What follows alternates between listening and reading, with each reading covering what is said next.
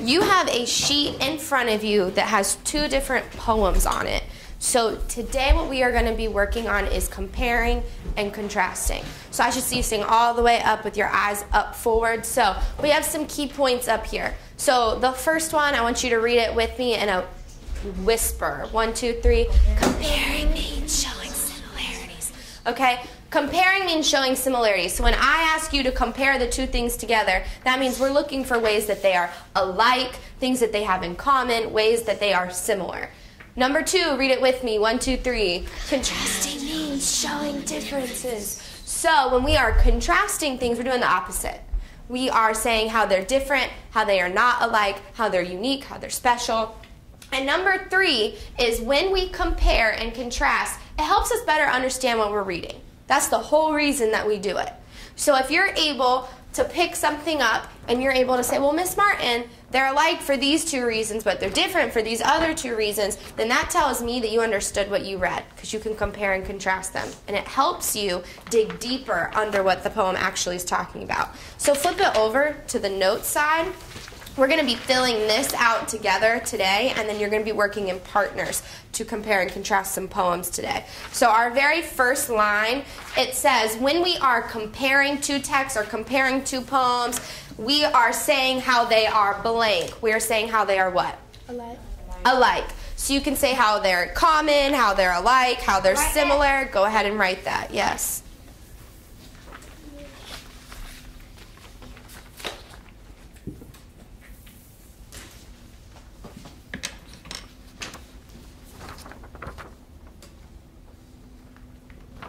Good. Our second key point is when we contrast two poems or two texts, we tell how they are Different. different. Very good.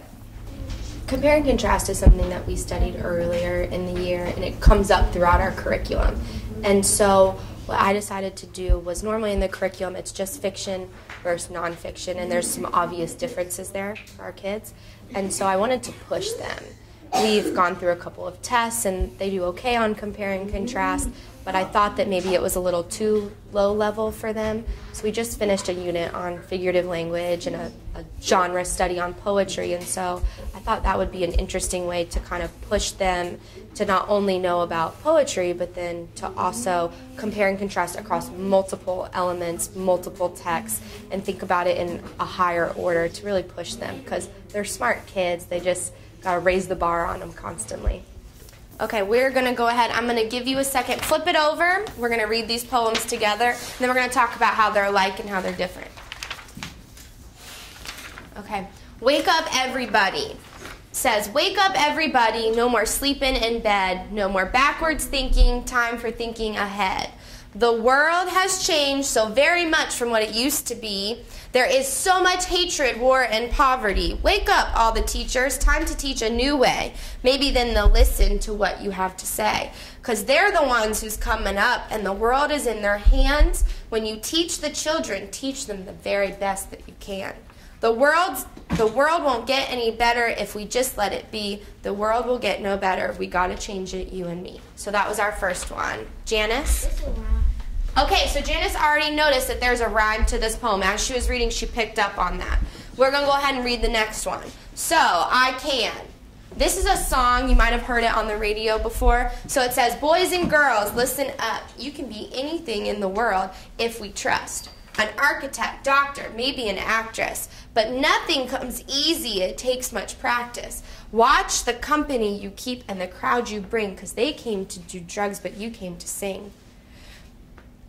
So if you're going to be the best, I'll tell you how. Put your hands in the air and take a vow. And then at this bottom part, the author, the singer is saying, I know I can, and then they have a student singing it back to them. So they're repeating it. They're using repetition. So they say, I know I can. I know I can. So I would say, I know I can. I know I can. Be what I want to be. Be what I want to be. If I work hard at it, I work hard, I'll be where I want to be. I'll be where I want to Okay, that's how it goes. So we, we connect poetry a lot to lyrics and songs, and even two of the poems that I pulled today were songs, and I think that they find that really interesting. Um, earlier in the year, I would let them tap out the beats or perform their own poetry, or here's two stanzas, write your own stanza on the in, and they have a lot of fun being creative, and I think that we don't even give our kids enough opportunities to be really creative and create their own poetry and write their own kind of things.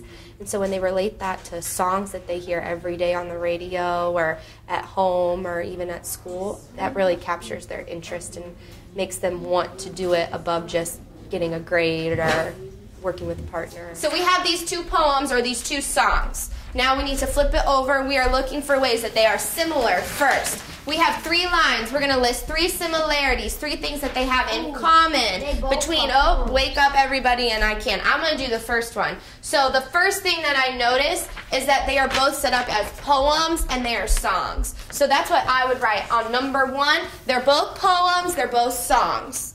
That's number one. I noticed that they could both be sung, you could hear them on the radio.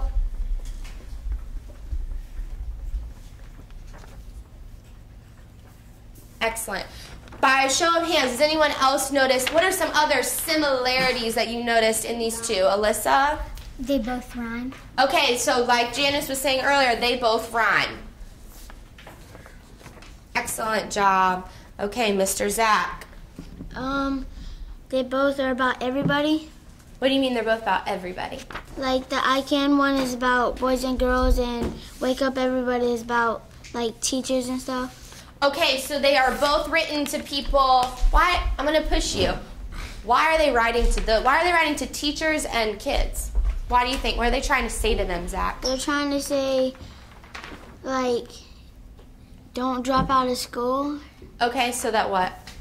so that you can get a better education. Okay, so they're both telling you to, to be better, to get your education. So you could put that it has a positive message, or they're talking to teachers and students. That's a similarity. So their audience is teachers and students. Zach was saying they both have a similar message. Tatiana? They both have rhythm. They both have rhythm, like a song. That's another excellent one.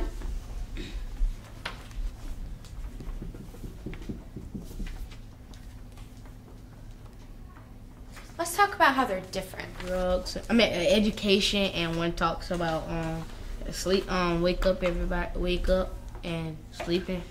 Okay, so how are they different? Different because um one had one had one talk one talks about one talks about sleeping and waking up, and one talks about um, boys and girls good behavior and getting good education.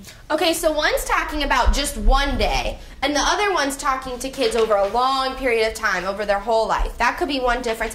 Why wouldn't a good difference be they're written by different authors?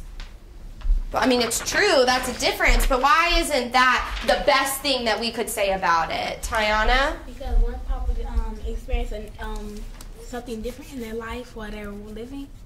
Okay, that's true. So maybe they had different experiences, and we could talk that that's a more important difference. Tatiana? They both have different things to say. They both have different things to say. So if we're only saying, oh, they're written by different authors, that's not getting at how they're actually different. That's kind of a silly difference. That doesn't help us better understand anything we're reading. So we want to make sure that we're looking for differences of how they their message is different, how who they're talking to is different, anything like that. Alyssa? Um, because the author isn't isn't in the poem. Okay, the author isn't included in the poem. He's speaking to someone, right? Okay, are there any other differences before we move on that you noticed? What about how they're set up? What about how they're set up? We've been talking about what they're saying to you. I have the same wonderful people who are participating, and I just need to. It makes sense because those are people already on A's and B's. I need to see hands up. Jakaya? Never mind. No, you can do it. One, uh, Wake Up Everybody has five stanzas, and I Can has two. Perfect. So, Wake Up Everybody has five stanzas, and I Can is broken up into only two. So, that's a big difference. They're organized in a different way. One has a couple of different stanzas, and the other one only has two. So, that's another difference that you could put.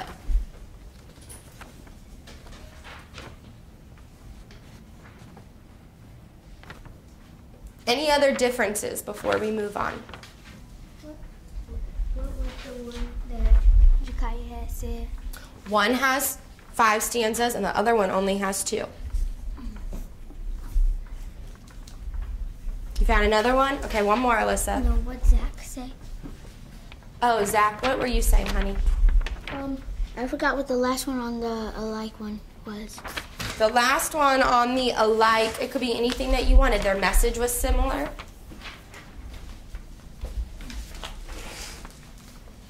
Okay, so now that we have written out how they're alike and how they're different, we are going to fill in our Venn diagram as our visual.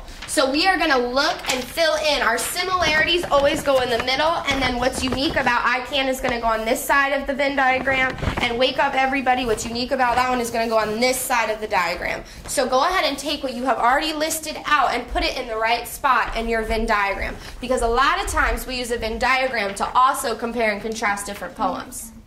That's fine, then fill it in.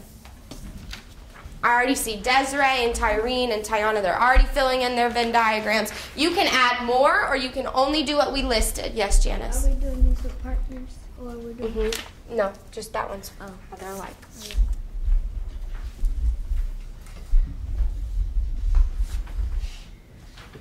I'm going to give you about one minute to fill in that Venn diagram, and then we're going to move on to a partner activity. It's pretty normal. Every lesson that we're doing a skill or a strategy, we talk about what it is, what it means. So if we're talking about main idea, what is main idea? What are some different ways you might encounter main idea? What do you think about when you're trying to find the main idea? And then why does that even matter to you? Why does it matter to be able to tell me how something is similar or how something is different or what the main idea is. Because if they can't make that why connection of why am i learning this and why does this matter to me then i find that they're not as invested as they need to be to learn those skills and strategies to move on to the next level. Now that we've compared two poems miss martin's going to kick it up one little notch. So i'm going to give you a third poem to work on with the people around you. And it is going to be your job your objective to look at this poem to read it and then you are going to compare this poem to the other two poems that we have already read together today. So we're making it a little harder, and you're going to have to compare things across all three of them. They learn just as much from each other as they learn from me. And hearing someone next to them get it and watching that light bulb go off for them, I think a lot of times pushes them and pushes their own thinking rather than just hearing Miss Martin say it. So we've already learned all of our figurative language terms. You could look at how the language is different, how the language is the same. You could look at the stanzas. You could look at the message. You could think about why the author wrote the poems, who the author is talking to. We want to get beyond just they're all poems. They're all by different authors. Why doesn't Miss Martin want to see those kind of things? Maurice?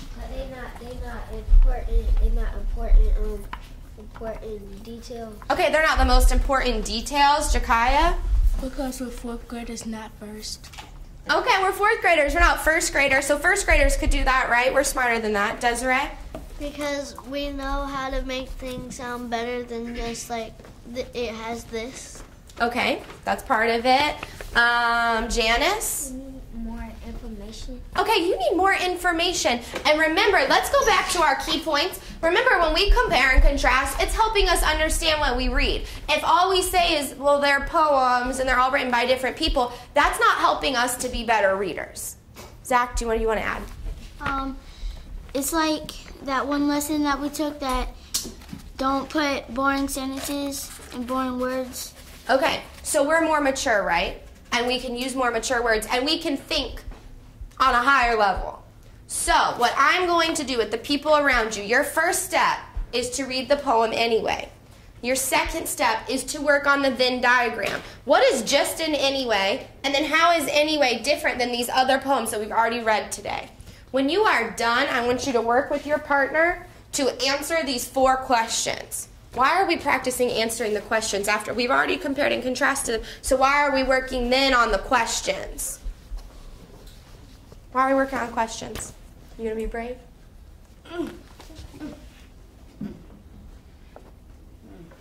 No, Janice. To help us understand qu- questions when we need, when we need help. Help you understand questions. Why, No, Tatiana? yeah. Why does she care about understanding the Um, questions? because they have answer answer choices that help you out. Okay, they might have answer choices that help you out. Tiana? Um, because um, because if you see the questions on the FCAT, they're more difficult than the ones that we're doing now. Okay, so we know that we have to compare and contrast these, but we also know that sometimes we're going to see questions that are comparing and contrasting like these. So we want to practice comparing and contrasting both ways so that we're ready. I'm going to hand this out. Someone please repeat my directions for me. Please repeat my directions for me. Desiree. Read the poem first. Read the poem first. Do the Venn diagram. Do the Venn diagram comparing what? Comparing This poem to what?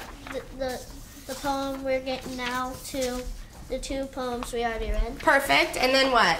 And then answer the four questions. and then answer the four questions. Um, you guys have been doing an excellent job and you've been sitting so quietly, so I'm going to give you 30 seconds to stand up, stretch, wiggle, wiggle break, whatever. Your 30 seconds just started. Get up and wiggle because you've been sitting still for so long. Get up and wiggle. When the 30 seconds is over, you can start working with your partner. Wiggle it out.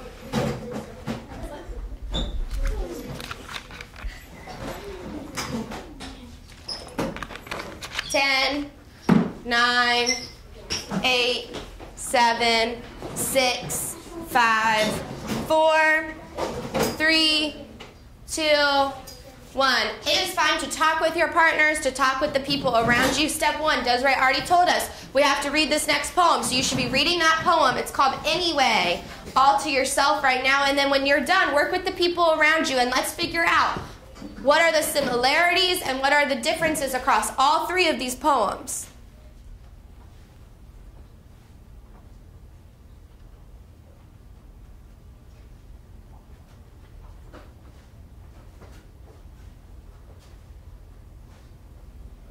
I do try to use a graphic organizer. This is the first day that we're reviewing compare and contrast. So normally I try to scaffold it, and on maybe the first day I try to use a graphic organizer. Usually I pull one from FCRR or something like that, and we analyze that text with that graphic organizer. And that helps them visually understand for the people who need that visual picture, and it also helps them map out what they're thinking so that they can be really aware of that. And then we move on to, to harder and more complex tasks and say, we might not always have time to draw a graphic organizer, so what do we do then? If we're comfortable enough comparing and contrasting and thinking about that as we read, then we don't need the graphic organizer anymore. It's just a tool. So it's saying if you give the world your best, something bad might happen, but you should give the world the best you've got anyway. So they're saying that sometimes bad things are going to happen, right? Life isn't perfect. Sometimes bad things happen. But what they're saying is that you still have to give your best anyway. What do they mean by that? Um, you to, you still have to do the right thing. You still have to do the right thing, even though it's hard, right? So I think that's what the author is trying to say in that even though it's hard sometimes, even though maybe sometimes bad things happen, you still have to give your best anyway. You still have to do the right thing anyway. Does that make more sense? Okay. It's all one big chunk, right? So it's only one stanza. It's only one stanza. So how is that different than this one? That one has five. That one has. Okay, so they're organized in a different way. Excellent. What's the middle? For how they're all alike. Okay, so let's look at all of them. Let me ask you this question. You guys have already talked about repetition and stanzas and things like that. So let me ask you this. Okay, let me ask you this question. Who do you think all of these poems are talking to? Us. Us? Who's us?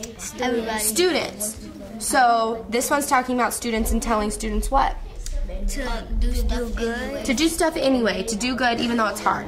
Who's wake up everybody's talking to who? To teachers and children. Okay, to teachers and students. And who is this one talking to? About to oh, boy, boys and Well, look at it. girls. Boys, and girls. Oh, yeah. And boys and girls. And What's it telling them that they can do? Because it says boys and girls. They can do that. They can do things like sing. Okay, they could sing, they could do whatever they want. So what do all three of these have in common then? They're talking to. They're telling you to try hard anyways. They're talking to students and they have a similar message. They're telling them to try harder anyway. That's good. Do you see how you guys just dug deeper into that? You didn't just say, oh, they're all poems, but you said this one is towards students, this one is towards students, this one is towards students, that's a similarity. That helps you better understand all of them. Okay, so that's one more similarity that you can put there. Good. When you guys are done with that, you can move on to the questions too. Talking to the students is the most one of the most important things that I do. Having reading conferences is something that I try to constantly do. This is what you got on your last test. This is what we missed. Why do you think that is? You did worse on this test than you did on your last one. Why do you think that is?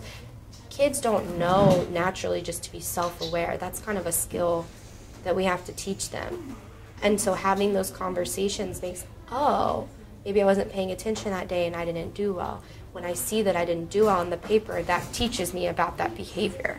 And so teaching them to ask questions and to push themselves and to be aware of what they need to learn and taking their own control over that is so huge. B, C, and D all make sense. Okay, so you got rid of A. The title of both the poem is a repeated phrase in the poem. So, Anyway, anyway, anyway, anyway, anyway, anyway. okay, so that's true. And what about over here?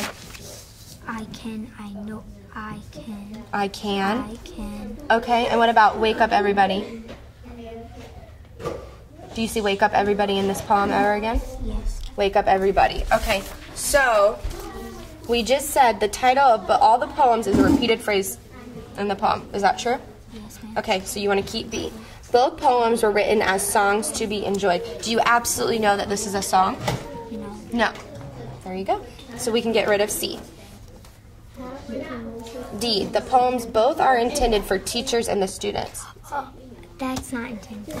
See, you answered it all by yourself. I meant that I'm going to challenge them, and that's a word that we encounter a lot in my classroom is that sometimes Miss Martin is going to make you answer a harder question, and sometimes it's okay to be shy, and sometimes it's okay to raise your hand and be confident and, and know that you know the answer. And a lot of times with teaching, that's half the battle in, in our classroom is showing these kids that you can do anything that you want to do. You can do anything that any other kid at any other school is doing, and you can probably do it better if you worked really hard.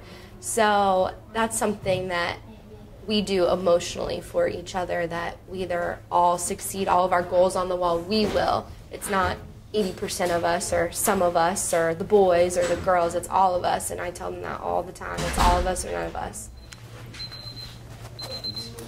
Okay, so let's go ahead and share out a few things. Raise your hand to answer. What are some similarities between Anyway and the other poems that we found? Desiree, tell me one similarity. They are all trying to persuade you to do something. Ooh, they're all trying to persuade you to do something. Excellent noticing. Tyrene, give me another noticing. Uh, they're both uh, they're both trying to get uh, a, st- a student to do something. They're all trying to get students to do something. Terrell, They all talking to boys and girls and have stances. they're all talking to boys and girls. Tatiana, Um, they're uh, try- they tell you to try harder anyway. If you they're miss trying to persuade you to try hard no matter what. Maurice. They both repeat words. they both repeat words, they use repetition. Excellent job. And Tiana, and then we're going to move to differences. So, a lot of times when I'm planning out a lesson, I think about what I want to ask the kids to get the higher level thinking and the questions ahead of time. And so, putting those into my lesson plan kind of holds me accountable to remember to ask them the question because a lot of time as a teacher you just get caught up in the moment and being with your kids making sure that they get it and we forget to ask those questions and them answering those questions is them op- their opportunity to think okay differences. I need differences. Zach give me a difference. Um, anyway is persuading to do what you want, and and um, everybody wake up is persuading to wake up. okay so they have different even though they're both trying to persuade you they're persuading you to do different things. That's an interesting one alyssa. Persuading you to do whatever you did, even if it if someone hurts you and your feelings. Okay. Let's move on to Desiree. Go ahead. One way that they're different. It's it is talking about doing th- anything anywhere. Anything, anywhere. Okay. Janice, What was the question? how are they different? Um, they're different. That um, I can does not have repetition. Rep- repetition. Okay? Whereas anyway does repeat a phrase over and over again. Okay, I'm going to pause us right there. This entire class period, we have been talking about ways that we can find similarities and ways that we can find differences. Why in the world does that matter to you? Because, I mean, you did the work, so you're going to get the grade, but why does it matter to you as a reader to think about comparing and contrasting while you're reading, after you're reading? Why does that even matter to you? Only two people know why that matters to them. Why does that matter to you? Just because Miss Martin tells you to do something, I mean, Tatiana, what do you think? Um, so you can um, know what each story is about.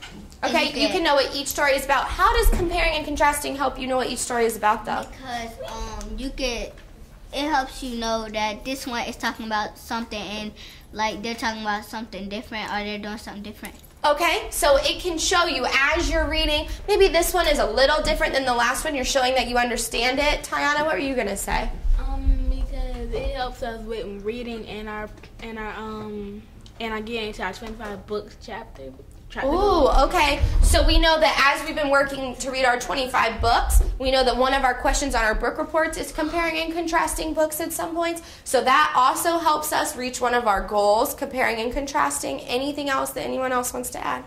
Desiree? Um, it helps us with the FCAT. If there's like a hard word, you can pronounce it. How does comparing and contrasting help you though? It helps us with seeing what differences the stories have. Like if this one's trying to persuade you or it's trying to inform you.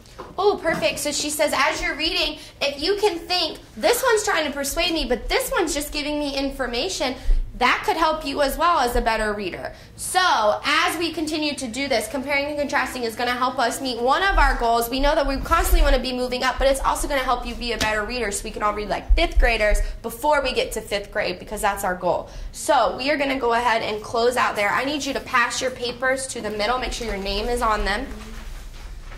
Pass your papers to the middle. I think my hope for today was that they understood that if they can think about similarities and differences as they're reading, that it will help them better understand the bigger picture of things.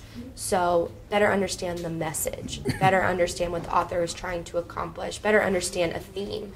And a lot of times in life, someone might say, Oh, well, what's the better decision? That's a critical thinking skill that you have to be able to sit there and compare a deal, compare a price, compare colleges.